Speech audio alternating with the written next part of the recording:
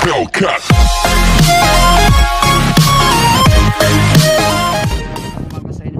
For today's vlog guys, today is a lipatan challenge. Lipatan kami guys no, lipat bahay kasi doon sa kabilang area is uh, iniwan na po or iniba na po yung uh, tinatambayan naming uh, villa doon. So dito na naman kami guys. Ito yung mga materialis namin. Yan. Yung kasama ko mga Filipino, yung uh, foreman, siya po ang nag, uh, nagpanday nito guys. Dito po kami ngayon. Naka-standby. New new site, new uh, area. New new area namin na tinatambayan, new bahay kubo.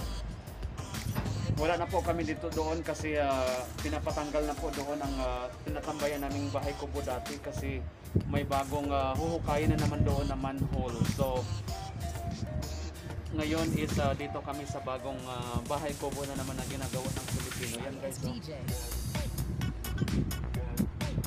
simple lang ang buhay namin dito guys no simple lang talaga parang nasa Pilipinas lang na na nagsama-sama kaming mga Filipino mga dito kami nakatambay sa ganitong ah, bahay kubo so yun lang talaga guys mainam naman yung ah, nagsama-sama kayo no? Ta- para masaya naman para hindi para iwas po kayo sa boring. So ganun no?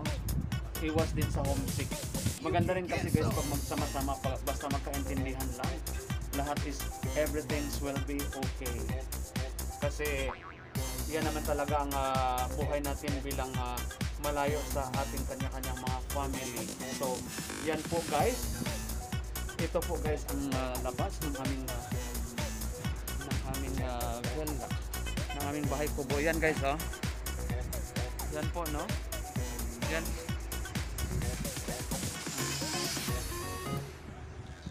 Guys dito na po ang area namin. Dito po ang area ko na na dito kami sa kubo na to. Ito na nakaplaster na po. May mesa na kami. Yan. May mesa. Tapos dito na ako magla-live kung wala na akong uh, trabaho. Kung vacant ko dito ako magla-live Kuno mo ito, sabi mo ito, kinakain ka mo natin ito. ito guys oh, kinakain namin dito sa Saudi Arabia tamis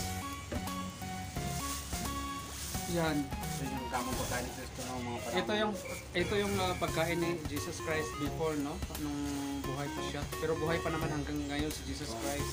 Ito yung pagkain guys na tamis. Yan. Alam mo kung kakain ka nitong tamis guys, ah, ano, matagal kang gutumin kasi ano siya uh, trigo kasi to trigo.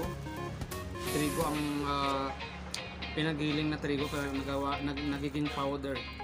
Flour, ganun.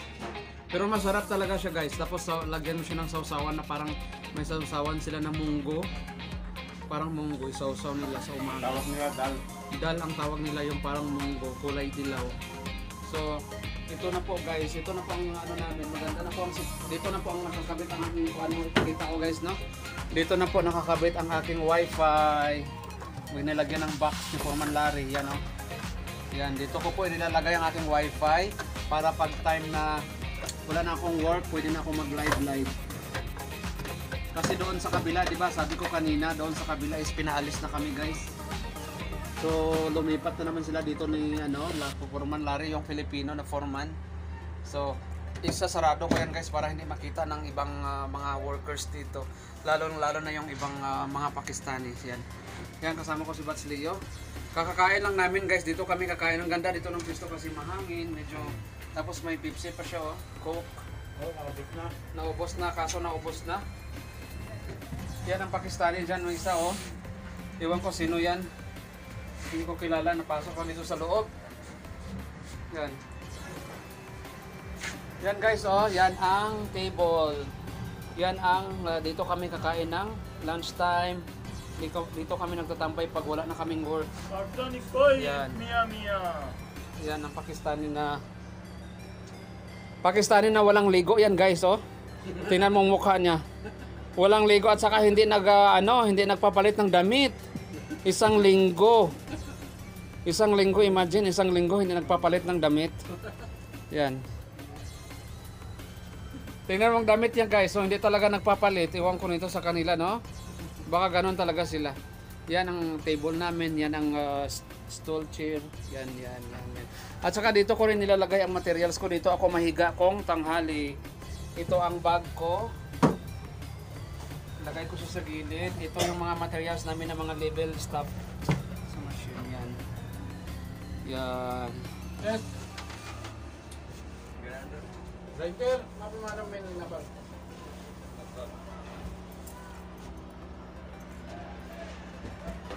Kung dito kayo sa Saudi guys, ma, ma- ano kayo masanay kayong kumakain ng ganito. Oh, yan, Tingnan mo si Basleo, yan. Oo, Kasi nasanay na rin siya sa pagkain na ganyan. Oo nga. Minsan nakaka sa- masarap rin kasi guys, masarap rin siya. Kasi pagkakain ka nito, hindi ka ma- madaling gutumin. Parang ah, siksik sa loob ng tiyan mo ang kung kakainin mo to siya. Yan. Yan lang, ito lang mga materials namin. Yan. Ito yung tutulugan kong foam, styro. Ipa-plaster ko na ito mamaya doon para hindi masyadong masikip. Ito mga gamit. Parang normal lang, parang nasa bahay lang tayo. Parang nasa Pinas lang nagtatrabaho na ah, ano lang tayo. Feel feel like at home. Feels like at home lang, no? At home ka dito. Maganda, maganda ang ano dito, maganda dito ako magla-live guys dito na sa table na to. Magla-live ako dito, dito ko dadal dinadala ko ang laptop ko araw-araw. Tapos magla-live ako sa kung wala na kaming trabaho, yan. Dito maganda kasi dito kasi medyo maliwanag. Bakit madilim to? Madilim guys, oh. Bakit madilim? Yan ang kabuuan naming video guys, no? Yan lang muna guys. Next time again. Dagdagan ko lang, no? May dugtong po itong mamaya. Kami lang dalawa dito. Wala pang ibang mga Pilipino na mga kaibigan namin. Mamaya ulit guys, no? Stay tuned lang. Ah. May karugtong pa po to. Sana subayba subaybayan nyo ang next video ko guys. Kain tayo, kain.